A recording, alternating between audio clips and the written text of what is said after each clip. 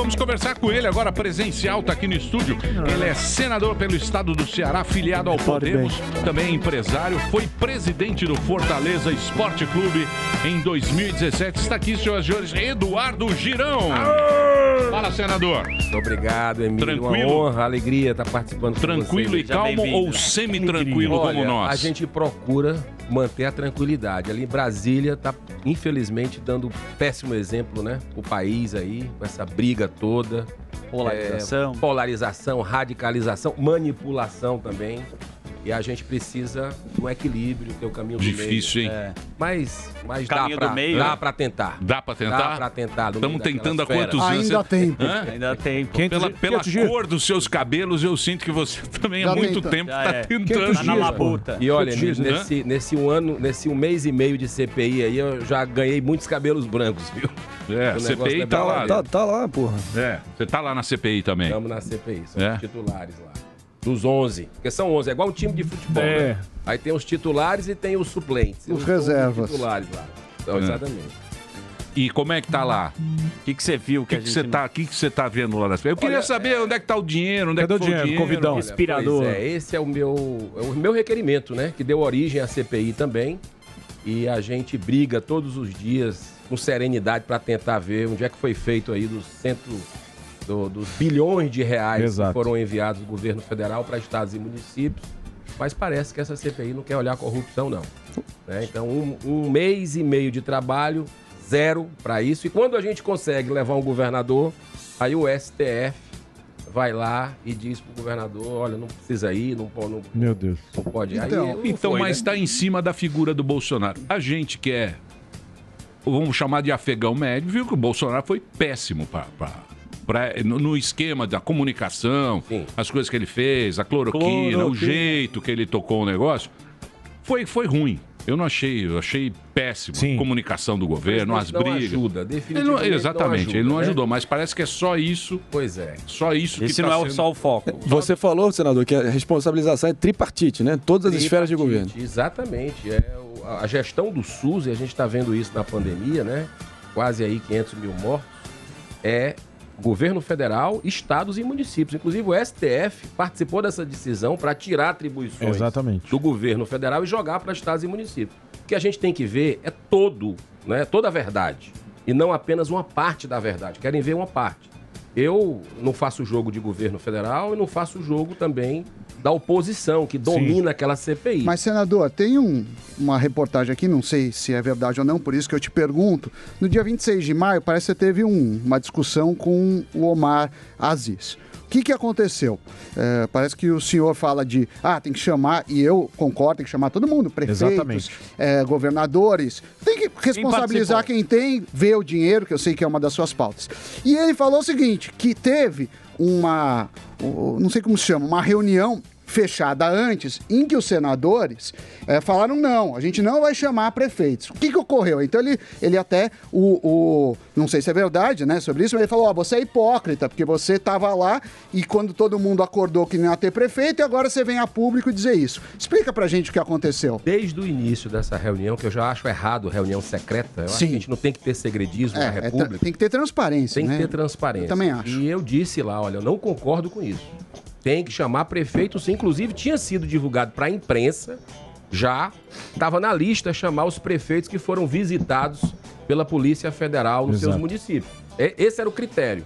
Mas resolveram não fazer.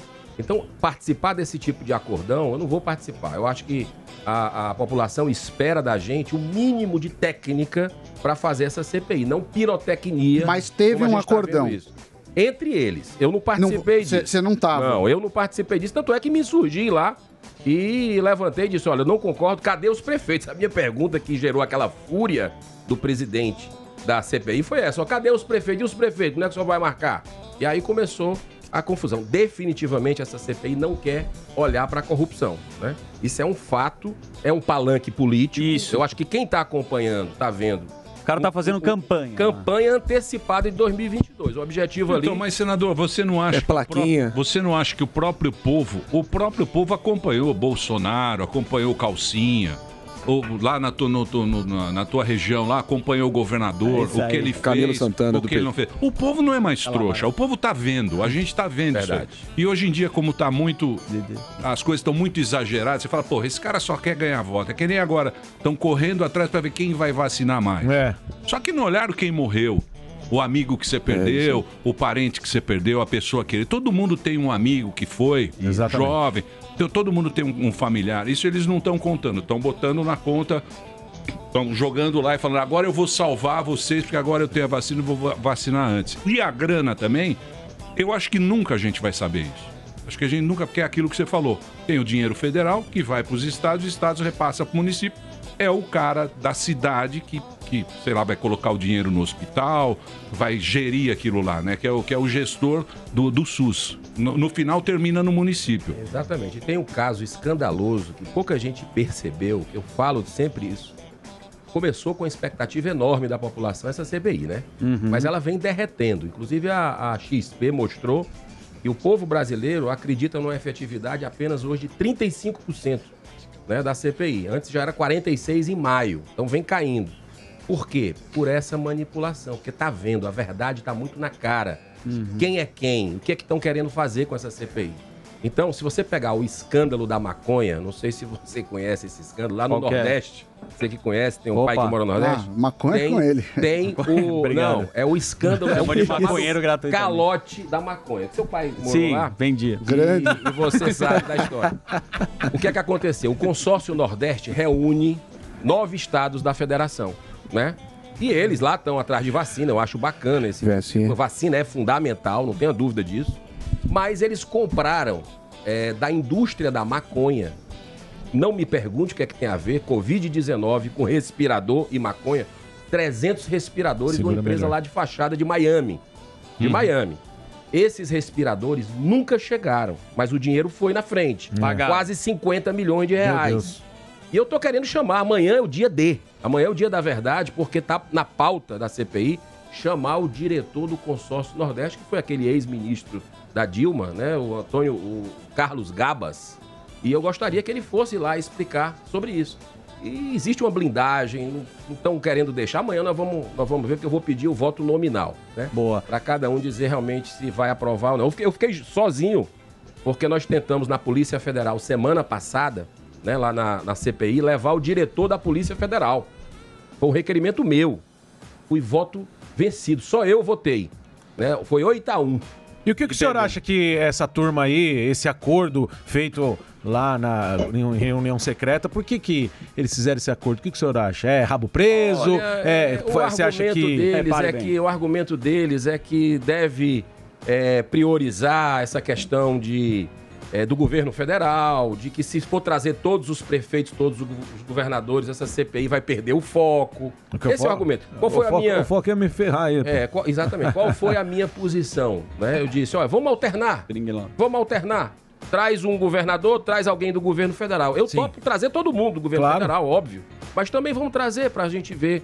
É, foram centenas de bilhões de reais enviados. Dinheiro não faltou. Mas esses caras que roubaram vão tudo pro inferno. Vão. Você sabe Não, disso. mas no mínimo, A né? Vai tudo pro de inferno. No mínimo. Elevador, Vai, esses tranquilo, no mínimo. Tudo que Esses você planta, tudo que Esses você planta, você colhe. colhe. Esses Isso que, aí é, é esses que pegaram moral. dinheiro de respirador, que deixaram os caras morrer lá na. Fizeram- venderam Hospital de vinho. campanha, hospital, Hospital de, de campanha, que foi levantado rapidamente. Você sabe, senador, quando veio a Covid, começou a. No comecinho lá, eu falei, puta, se isso aí for. Porque tudo tem uma consequência. Não é? Uma pandemia tem uma consequência, uma grande guerra tem uma consequência. Eu falei, pô, se isso aí for um negócio que a gente possa ter um serviço de saúde melhor no Brasil, beleza.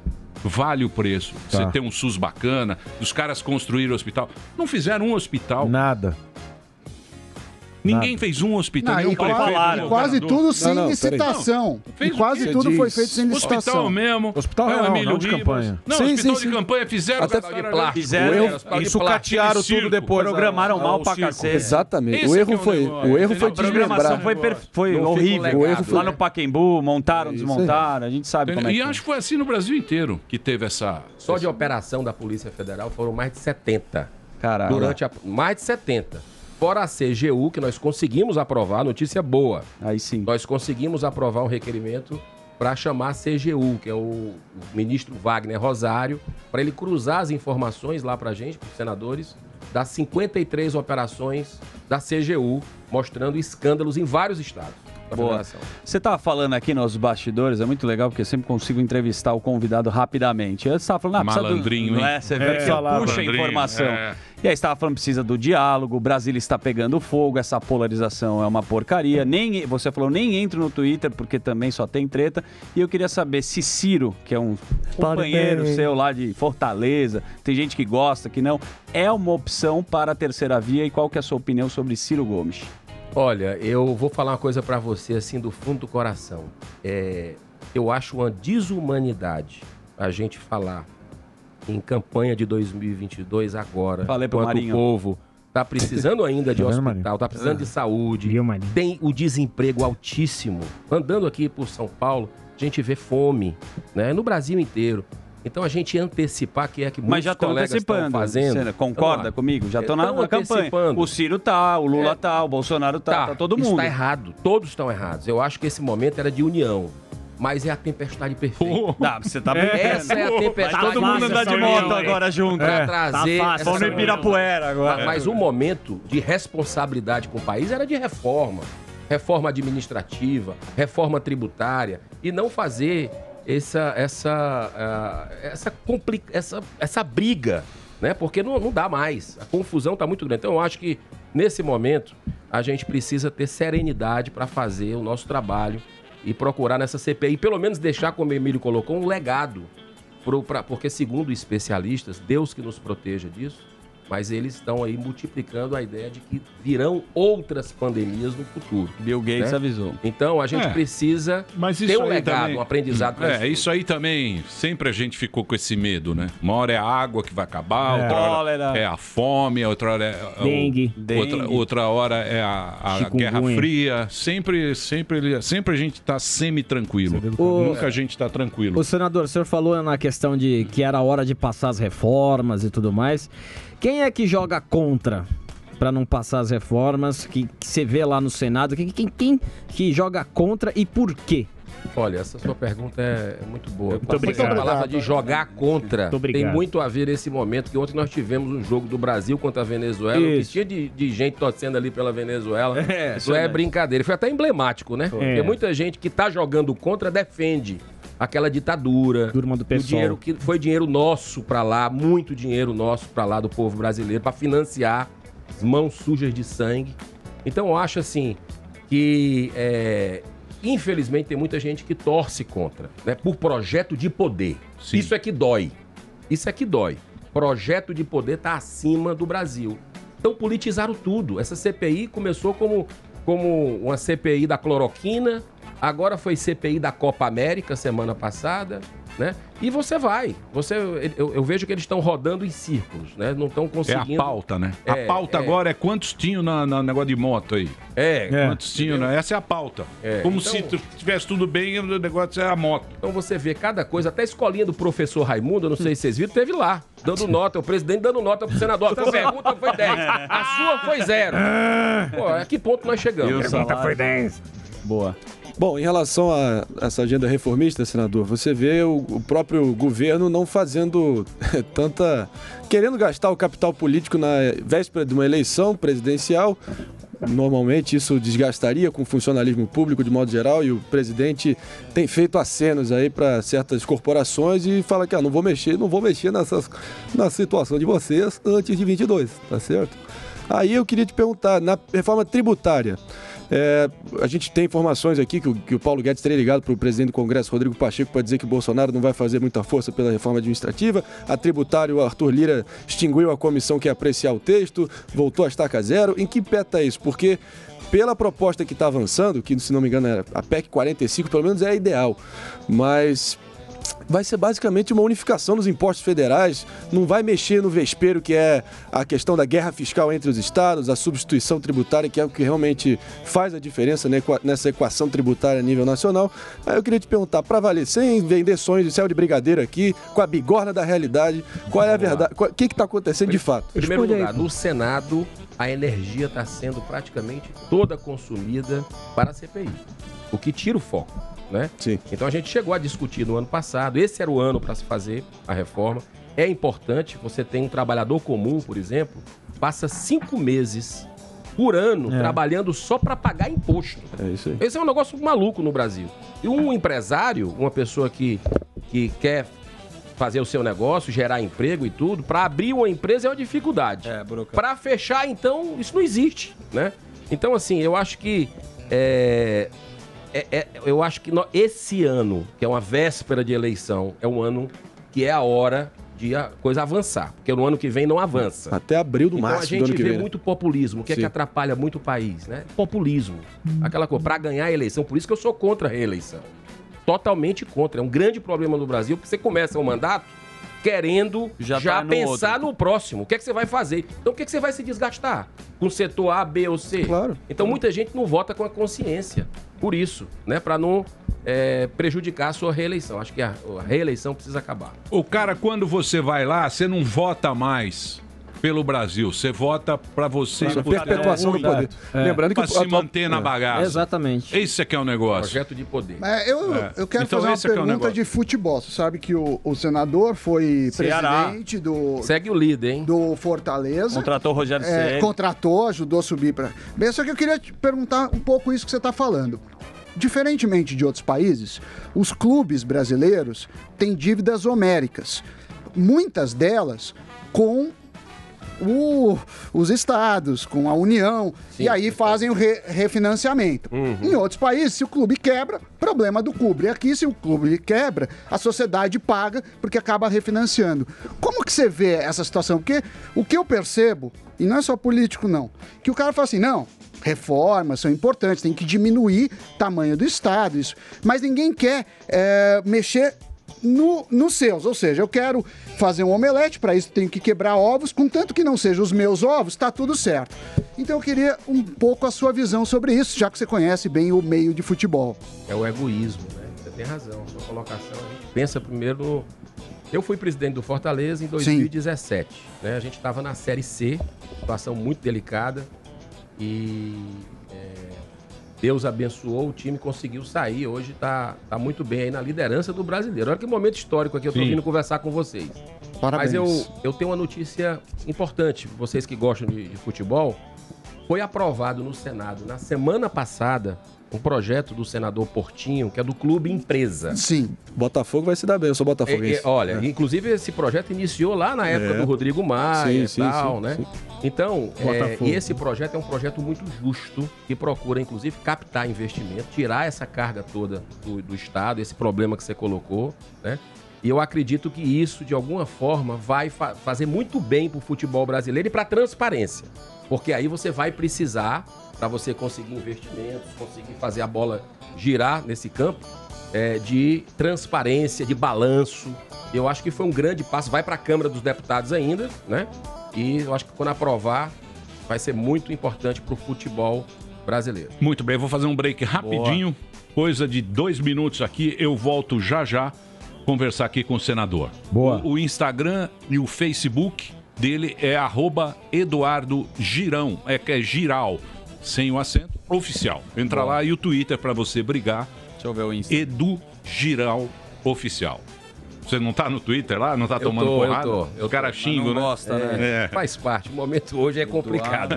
Daqui a pouquinho a gente volta aqui na Jovem Pan. Mande sua pergunta, arroba programa Pânico. Ciência Ilustre, nesse programa, temos um senador da República, Eduardo Girão, senador pelo estado do Ceará. Está aqui batendo um papo com a gente, está aqui no estúdio, ao vivo. Estamos conversando com ele, falando dos assuntos e tal. Aliás, eu gostaria de falar com vocês, para aproveitar que Samidana aqui está. Você estava acompanhando e viu que ele acertou tudo. Impressionante. 3 Mas a não- 0 ele cantou a Às bola. Ele acerta, ele acerta a maioria. É. A média dele é boa. 90%. Mas, eu, você sabe que eu tenho algumas notícias que eu gosto de trazer para minha audiência. Boa. A gente debater. Pra gente, porque é o seguinte, notícia ruim Vem traz logo. na gente o cortisol. Sim, Sim. na hora. Alto. Cortisol é a pior coisa que você Dá possa mais ter. doença. Pior coisa que você possa ter é o cortisol, porque Pois ele é. baixa a imunidade. Isso. É, é, é o que dá o estresse, é o cortisol. É quando a gente ia ser atacado por um leão. Você dispara cortisol no seu Na corpo. hora. Então isso aí faz muito mal à saúde. Então eu gosto não só de dar notícias ruins, porque a minha audiência vai adoecer. E se a minha, adoe- minha audiência adoecer, todos morrerão e eu vou não ficar sozinho. ninguém Então, meu programa vai pro saco. Então eu gosto de trazer algumas notícias boas e entender o porquê. Saiu no Globo, seu querido Globo.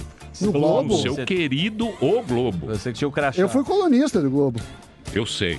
Mas você sabe que saiu um levantamento que mostra que empresas brasileiras já captaram 70 bilhões em ações Ó. esse ano. São 83% mais.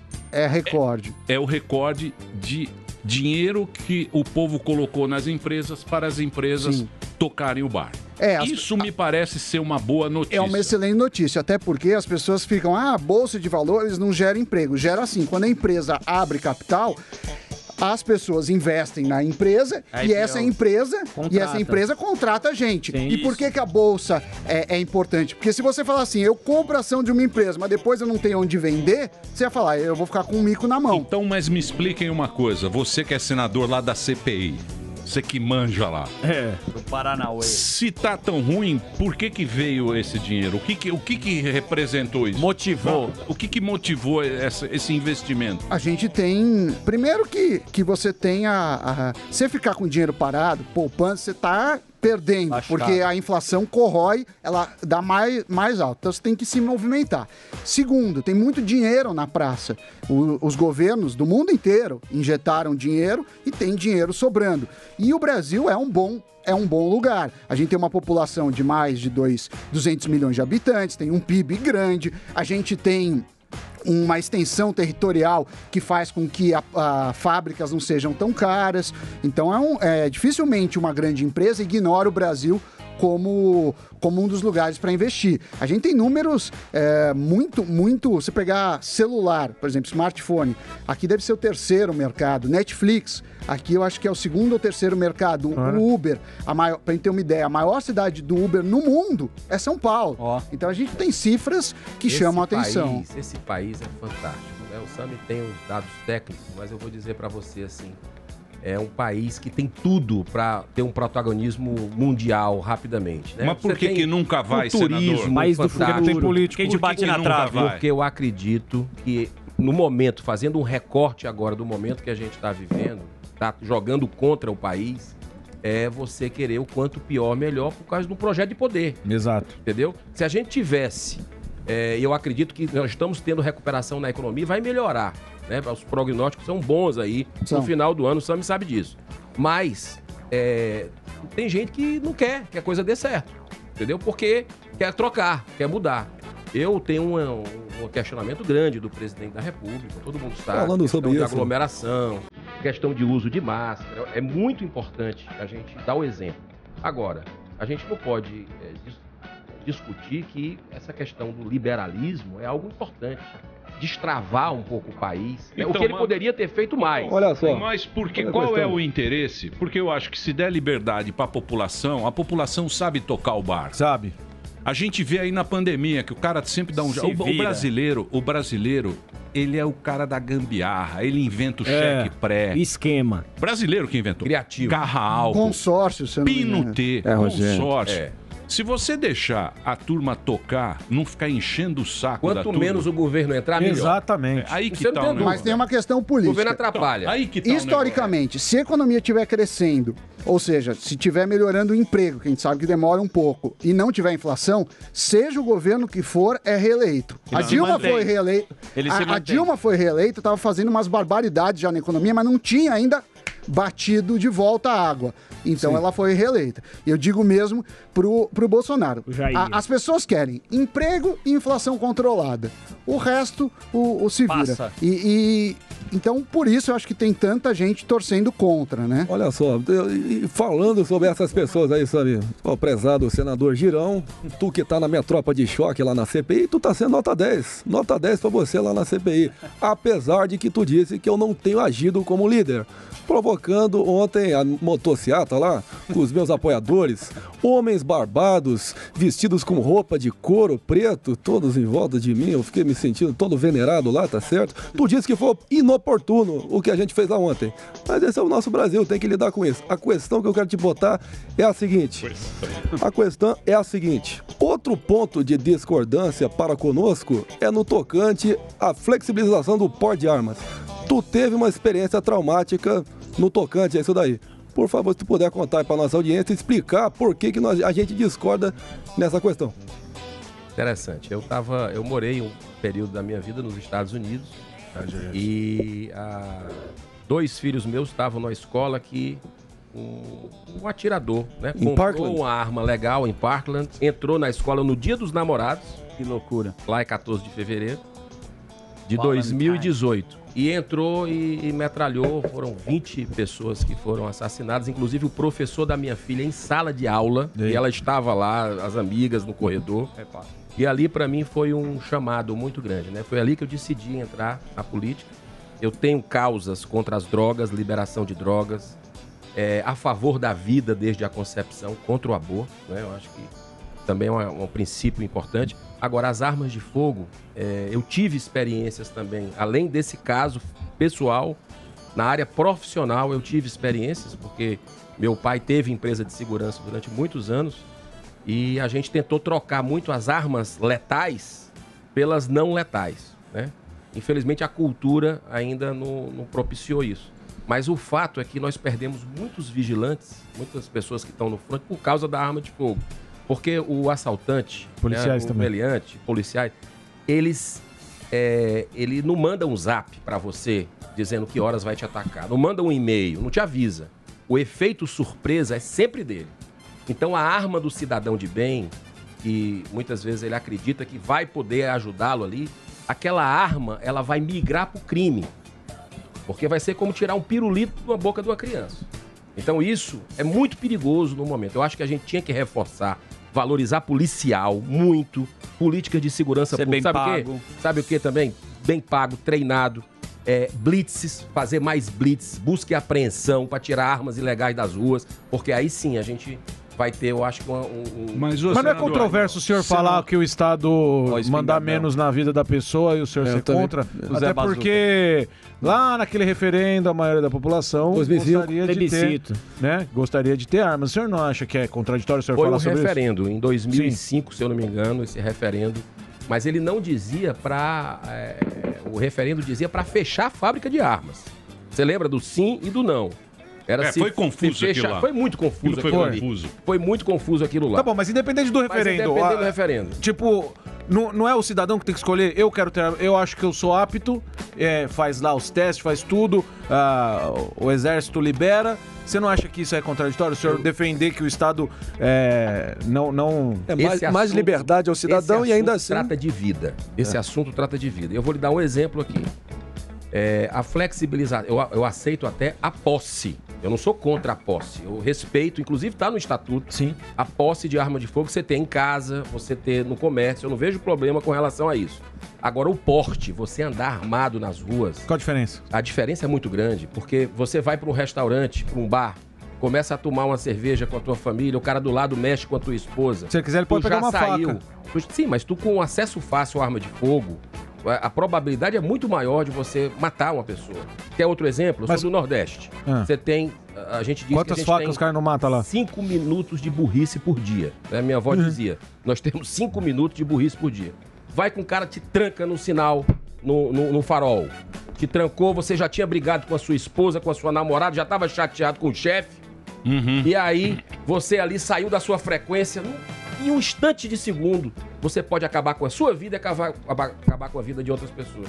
Então, eu acho que esse assunto a gente precisa ter muita Mas não é chamar de burro ao É, povo? Não é chamar de Não, tipo. não, O- o- porque quem advoga a favor da- das armas vai, de- vai descrever essa posição como uma posição elitista que vê o brasileiro como complexo de vira-lata, É, neandertal, que não está pronto para ter discernimento próprio para poder ter essa situação. O que, que você acha? O problema... Eu acho que ah, a urgência do Brasil é fazer esgoto, Saneamento. é fazer o saneamento básico. Essa é que é a urgência, não discutir coisas. A gente fica discutindo aqui coisas que. Coisas do primeiro Segurança mundo. pública? Não é o primeiro. Não, não, não é a segurança pública. sim. você tem, um, você tem uma garrucha em casa, não é ter segurança. O problema é você liberar a arma, liberar R14, R15, lá aquelas Ah, fuzil tá que você legal. vai liberar. Esse é que é o problema. Não é a garruchinha lá de trás.